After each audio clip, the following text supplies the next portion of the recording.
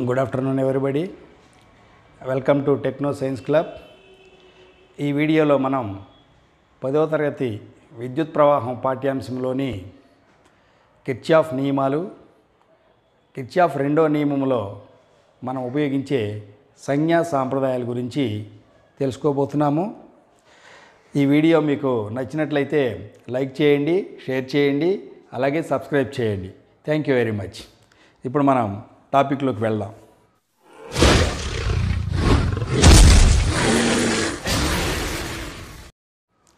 Kirchhoff నియమాలు మనకి మొత్తం రెండున్నాయి. కిర్చాఫ్ మొదటి నియమము రెండవ నియమము. రెండవ నియమాన్ని లూప్ నియమము అంటారు. ఈ లూప్ నియమములో లూప్ నియమం ప్రకారం మనకు ఏం చెప్తుందో విందాం. ఈ లూప్ నియమం అనేది ఒక మూసిన వలయానికి సంబంధించి మనకు వివరాలు తెలియజేస్తుంది. వలయము ఎప్పుడు కూడా క్లోజ్ అయ్యి ఉండాలి. మూసిన వలయంలో వివిధ పర వివిధ పరికరాలను మనం ఏర్పాటు చేసినప్పుడు ఆ పరికరాల యొక్క పొటెన్షియల్ భేదాల బీజీయ మొత్తము ఎప్పుడు సున్నా అవుతుంది శూన్యం అవుతుంది. ఒక మూసిన వలయంలో ఉన్న వివిధ రకాల పరికరాల యొక్క పొటెన్షియల్ భేదాల యొక్క పెరుగుదలలో కానీ తగ్గుదలలో కానీ ఉన్న బీజీయ మొత్తము సున్నా అవుతుంది. బీజీ మొత్తము అంటే ఇక్కడ మనం విద్యుత్ ప్రవాహ దిశ మరియు మనం పరికరాలని లెక్కించే దిశ ప్రాధాన్యత ఉన్నది అని మనం గమనించాలి. ఒక దిశలో వెళ్ళినప్పుడు ధనాత్మకంగా తీసుకుంటాము. అదే వ్యతిరేక దిశలో వెళ్ళినప్పుడు రుణాత్మకంగా తీసుకుంటాము. ఈ దిశలు ఎలా తీసుకోవాలి? ఏ సందర్భంలో ధనాత్మకం తీసుకోవాలి? మరి ఏ సందర్భంలో రుణాత్మకం తీసుకోవాలనో మనం ఇప్పుడు పరిశీలిద్దాం. ప్రధానంగా మనకి మూసిన వలయంలో ఒక బ్యాటరీ ఉంటుంది.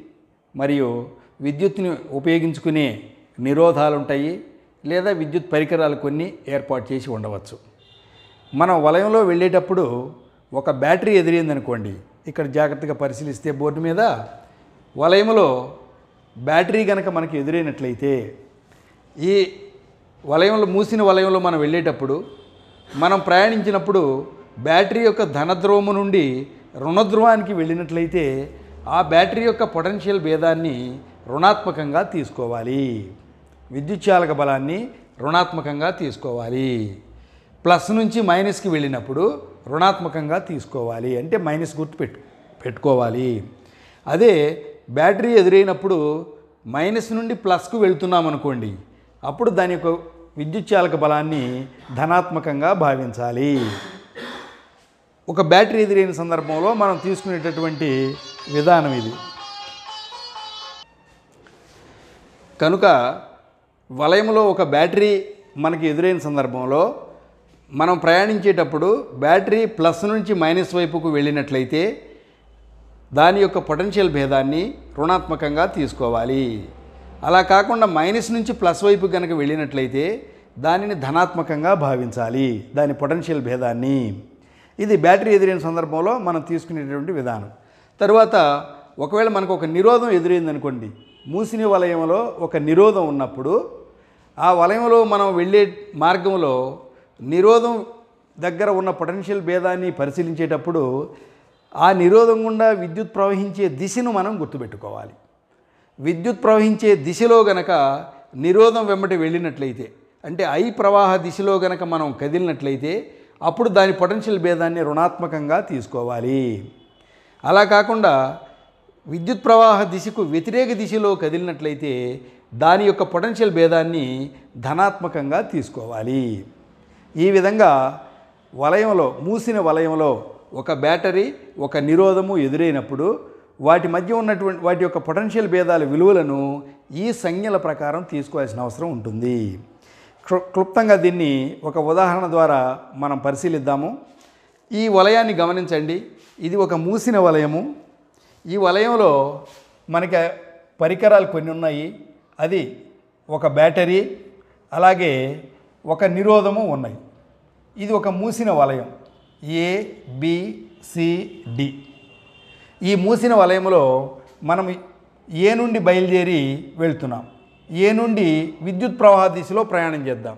ఏ నుండి బీకి ఎటువంటి పరికరాలు లేవు ఇక్కడ? బి నుండి సికి ఎటువంటి పరికరాలు లేవు ఇక్కడ? సి నుండి డీకు కూడా ఎటువంటి పరికరాలు లేవు. ఇక చివరగా డి నుండి ఏకు వచ్చే సందర్భంలోనే ఒక నిరోధం ఉన్నది మరియు ఒక బ్యాటరీ ఉన్నది.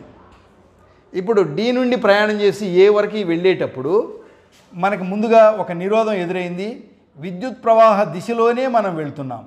విద్యుత్ ప్రవాహ దిశలో వెళ్ళటం వలన దీని యొక్క పొటెన్షియల్ భేదాన్ని ఇక్కడ ఇందాక మనం అనుకున్నట్లుగా రుణాత్మకంగా తీసుకోవాలి. దీని యొక్క పొటెన్షియల్ భేదాన్ని రుణాత్మకంగా తీసుకోవాలి. అలా వెళ్ళే సందర్భంలో బ్యాటరీ ఎదురైంది మనకి. బ్యాటరీలో రుణధ్రువము నుండి ధనధ్రువం వైపుకి వెళ్తున్నాము. రుణద్రోము నుంచి ధనద్రోము వైపుకి వెళ్ళేటప్పుడు ధనాత్మకం ప్లస్ గుర్తుని తీసుకోవాలి. అంటే దీని యొక్క పొటెన్షియల్ భేదం ధనాత్మకం దీని యొక్క పొటెన్షియల్ భేదం రుణాత్మకం తీసుకోవాలి. ఈ పొటెన్షియల్ భేదాల బీజీయ మొత్తాన్ని సున్నా అని మన లూప్ నియమం తెలియజేస్తుంది. ఇప్పుడు దీని పొటెన్షియల్ భేదం ధనాత్మకం కాబట్టి వి అని తీసుకుంటాము. దీని పొటెన్షియల్ భేదం దీని నిరోధం ఆర్ దీని గుండా ప్రవహించే విద్యుత్ ప్రవాహం ఐ. కాబట్టి ఓం నియమం ప్రకారం V is equal to IR Ohm నియమం ప్రకారం. కాబట్టి ఇక్కడున్న పొటెన్షియల్ భేదము ఐఆర్కు సమానం అవుతుంది. ఆ ఐఆర్ని మనము రుణాత్మకంగా తీసుకోవాలి. కాబట్టి మైనస్ ఐఆర్ అవుతుంది.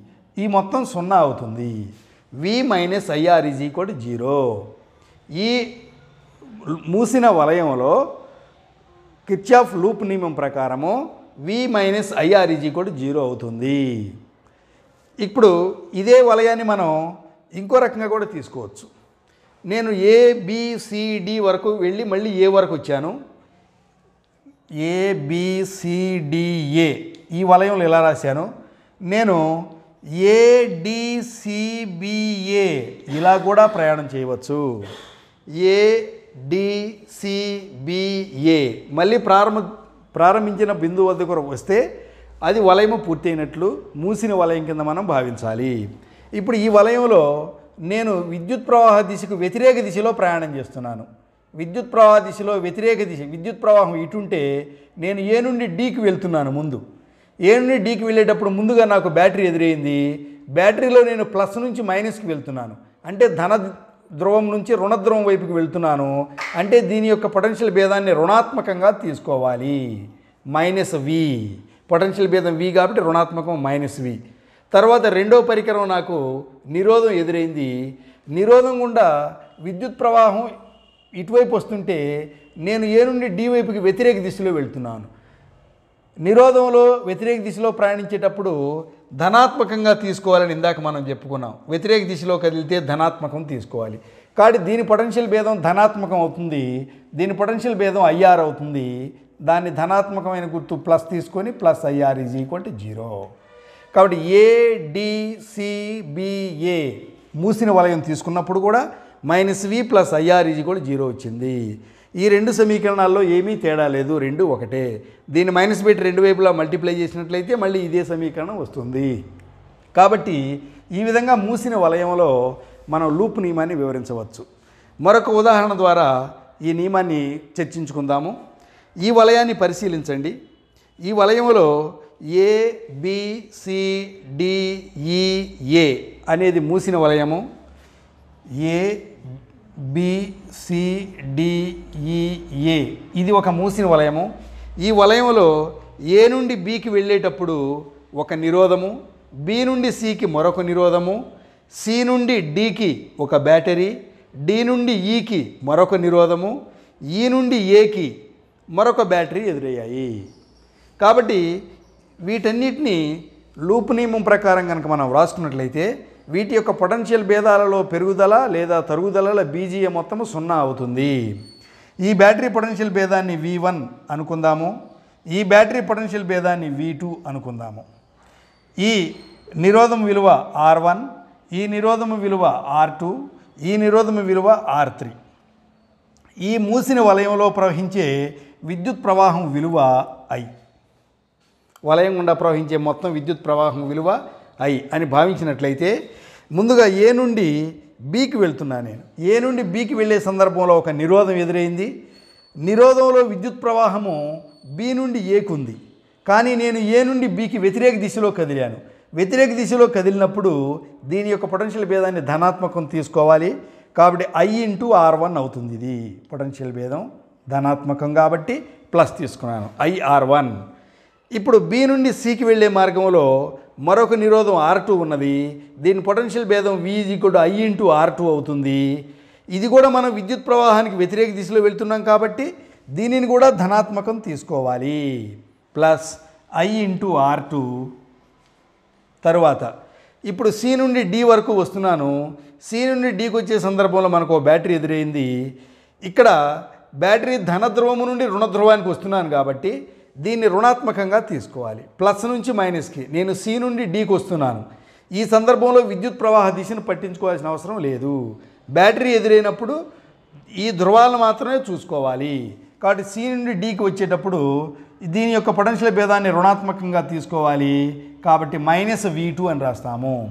మళ్ళీ డి నుండి e ఈకి వచ్చే సందర్భంలో మరొక నిరోధం ఎదురైంది. ఈ నిరోధంలో కూడా మనము విద్యుత్ ప్రవాహానికి వ్యతిరేక దిశలో కదిలేము. మనం కదిలేది డి నుండి e ఈకి విద్యుత్ ప్రవాహం ఈ నుండి డీకి ఉన్నది వ్యతిరేకంగా. అందువల్ల దీని పొటెన్షియల్ భేదాన్ని కూడా ధనాత్మకం తీసుకోవాలి plus I into R three ఇప్పుడు ఈ వరకు వచ్చాము. ఈ నుండి మళ్ళీ ఏ వరకు వెళ్ళాలి. వలయం పూర్తవుతుంది లూప్ పూర్తవుతుంది.